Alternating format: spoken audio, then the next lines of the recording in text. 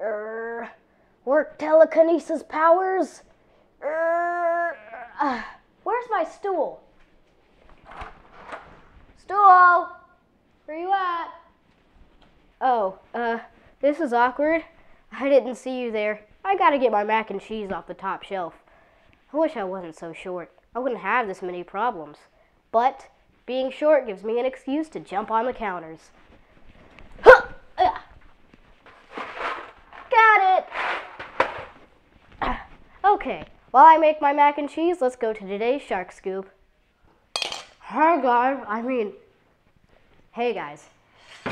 I'm doing my laundry and this always happens to me, but I have a single sock stuck at the bottom of the washer. If only I wasn't so short.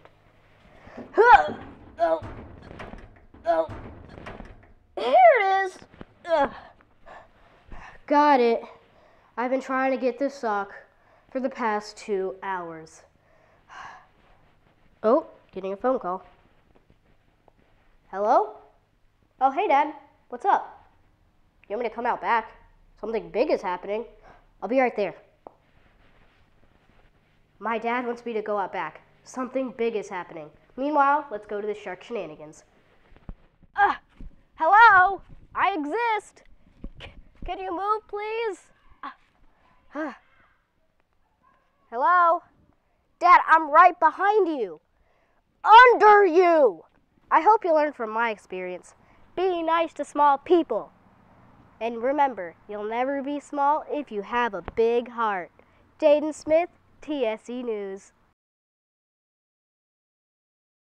Good afternoon, ladies and gentlemen. My name is Bear Grylls. I've been dropped somewhere in Florida. I don't know exactly where, but I'm in the wilderness as usual. Looks like it's almost sundown. It also might rain, but you know how Florida weather is unpredictable. While I get the sticks and stones to make a fire for warmth tonight, let's go to today's shark scoop.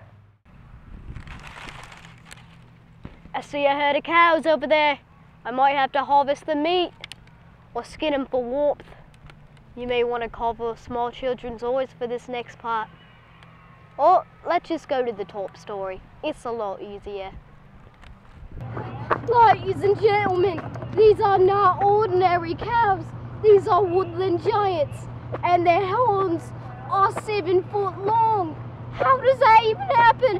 How do they grow that big? Cameraman, you run slower. Why?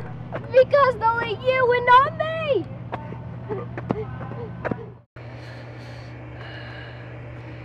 The camera is the only thing left of my cameraman Bobby. They ate him whole. My clothes are all torn. I'm cold and I'm tired. And the only one that can help me is is my mommy.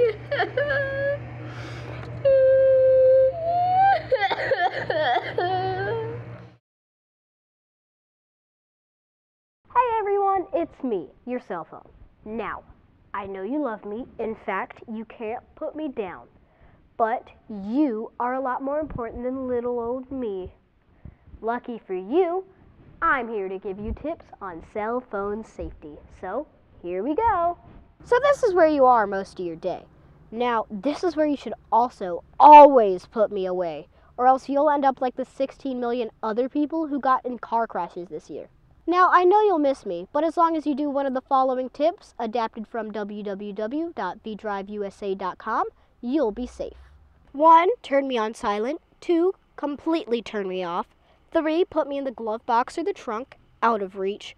Or 4. Download an app that prevents you from texting while driving, like Hiya. Oh, I'm sorry. Listen, you need to watch where you're going. Texting and walking isn't funny anymore. Yeah, walk without your phone next time. I'm not lying. Walking and texting is a hazard to you and everyone around you. They even have signs and apps to prevent it. So remember, cross the street, stop, then update your Facebook. Hello? Is anybody there? This is what really gets under my circuit boards. people who don't have correct text etiquette.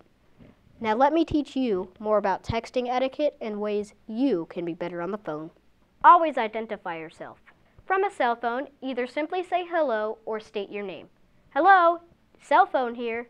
Do not answer with words such as yes or yeah. Be sensitive with the tone of your voice. Do not sound overly anxious, aggressive, or pushy when you are on the phone. So now you know. Don't text and drive, don't text and walk, and always use your cell phone etiquette. Your cell phone, TSE News. I'm Jayden here at Two Infinity. Oh my gosh. Hold on, I need to catch my breath. Okay.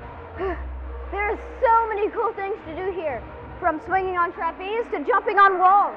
Today's hot topic question is, what do you like doing here at 2 Infinity? It seems like all the sharks like the activities here at 2 Infinity, and I know you will too. So why don't you make plans and come on and bounce?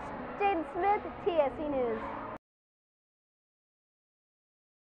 Good morning, everyone. My name is Jayden, and I have some very important information to share with you. Do you like video games? I do, and I know that a lot of people my age do too. But this hobby comes with some very negative side effects, such as homework can become neglected, relationships can suffer, and students can even become less aware of pain.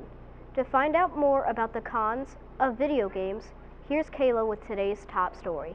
Did you know that whenever you play video games, the risk for Alzheimer's becomes much greater? And whenever you play video games, you aren't as active. So get out, be active, and play in one of the LG sports teams.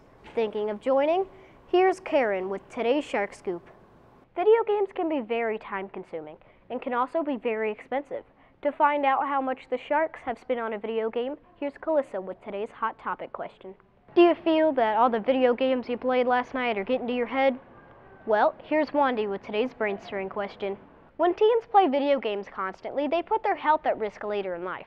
Diabetes, obesity, and even Alzheimer's disease have been linked to video game usage. So next time you go to play Call of Duty, stop, unplug, and save yourself. Jayden Smith, TSE News.